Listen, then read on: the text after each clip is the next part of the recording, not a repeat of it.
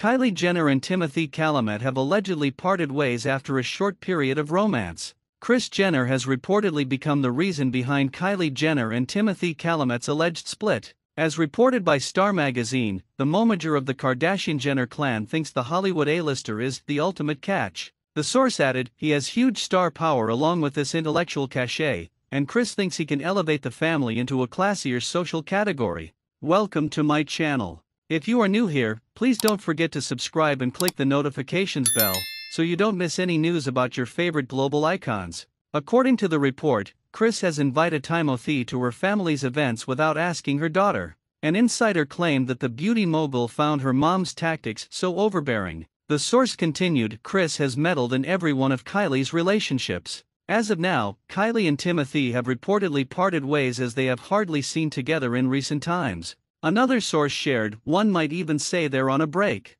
Their lives got busy, and they drifted apart. Of course, once their schedules quiet down, that could all change. Before Timothée, the Kylie Cosmetics founder was romantically involved with rapper Travis Scott. The exes share a five year old daughter, Stormi Webster, and one year old son, Aire. Kylie and Travis's split was seemingly for real that time as the Kardashian star has moved on with actor Timothée Chalamet.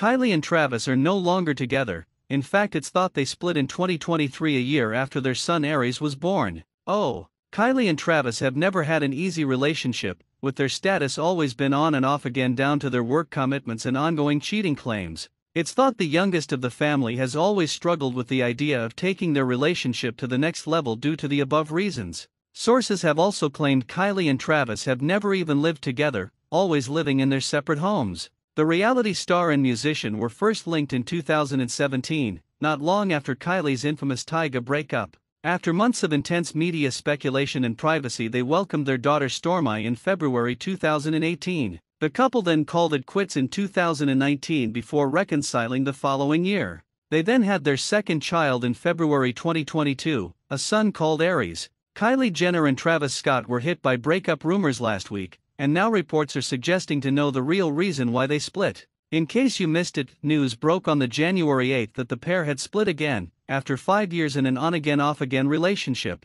Sources claimed the Kardashian couple spent Christmas apart, with Kylie spending it in Aspen with their four year old daughter Stormi Webster and their son, who is almost one. Thank you for watching. To ensure that you don't miss anything, please remember to subscribe, hit the notification bell, and like and comment on this video.